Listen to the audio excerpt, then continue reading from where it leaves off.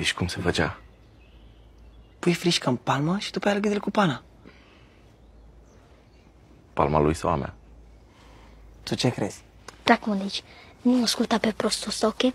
Deci, frișcă mănânci și pana îți o bage adânc în fund. Nu cred. Bă, da? Dă aici că ești inutil.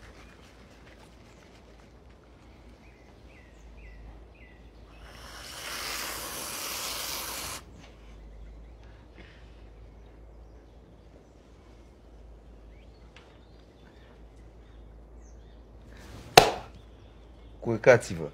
Ok.